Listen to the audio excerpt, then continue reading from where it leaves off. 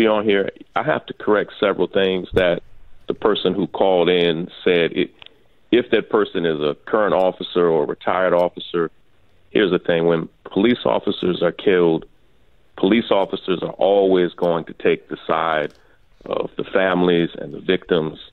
But there are actual facts about this case that she got wrong. Her last words on the call was, "We don't really know what happened." That's the that was her final sentence when she called in. We don't really know what happened. We do kind of know what happened. Police officers barged into a house. It was a drug house, and there were two men in the house, Kerry Spencer and Nate Woods. When they barged into the house, Rickey, the moment they barged in, they sprayed Nate right in his face with pepper spray. Nate then ran crazily through the house and ran out the back window of the bathroom, ran across the street, and sat on the front porch where he never left. While he ran out of the house, his friend, Kerry Spencer, who is in prison on death row right now, shot and killed a police officer. When other police officers heard that, they came running in and he shot and killed two more police officers. Nate wasn't even in the house when that happened. Mm. Kerry, Kerry testified when in his trial. Kerry testified in Nate's trial, and Kerry has said to this very day, he was on CNN last night from death row. Kerry himself that Nate had nothing to do with the shooting. Nate did not know the shooting was going to happen. It was not planned. They, the police came to the house, Rickey, with a misdemeanor arrest warrant for an unpaid ticket. Mm. You you want me to believe that Nate so badly wanted to avoid a misdemeanor that he orchestrated three police officers being killed.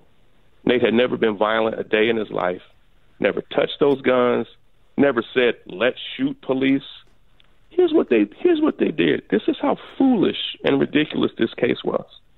They literally went and found a Dr. Dre song that Nate mm-hmm. liked that says something bad about police mm. to say that that shows us that Nate had a hate for police. Wow. Come on. The case is so ridiculous. I don't think that I would hope that in 2020 that Nate would not be convicted for this. But in 2004, which doesn't sound like it's that long ago, but it's 16 years ago, mm. 2004, you have three white police officers killed in Birmingham, which at that point in time was the largest number of white people ever killed in one shooting in the history of Birmingham. They were going to have blood. Mm. And here's the thing they could have just convicted Kerry and sentenced Kerry to death. I'm against the death penalty in general, but Kerry committed the crime. He's always owned it, never denied it, always admitted it. That's on his soul. Kerry wrote a letter yesterday just saying that to him, Nate didn't even actually deserve to be charged. He wasn't an accomplice. There's no crime at all that Nate committed. It's awful that Nate was there, but from my perspective, Nate was actually a victim. Like he he did not want this to happen. He has always regretted that it happened. He had nothing to do with it. Anybody saying otherwise is lying. Wow. There's no evidence. Nobody's ever testified that Nate helped plan it. They made that up. The, oh. the shooting wasn't even planned. It, when the police barged into the house, it shocked the hell out of Kerry, who started shooting almost right away. Right. And like it's like this was not it's it's awful it's horrible i feel awful for the families of the victims period but you can't hold nate responsible for something he didn't do. And, and here's i'll close with this. They offered nate a plea deal which shows you back in the day that they didn't actually think that nate like if you thought nate actually orchestrated these killings there'd be no plea deal. Yep. They offered nate a plea deal for 20 years. Nate's attorneys told him that means he, he'd be released in four years. But Nate's attorneys told him not to take it. They thought they could actually get him off completely. And instead of getting him off completely, they convicted him of capital murder. Mm. And like mm. there's actually no crime that Nate committed that day. If you are in the vicinity of a crime, that's not an accomplice. There's there's not a there's, no one testified that Nate strategized or planned that.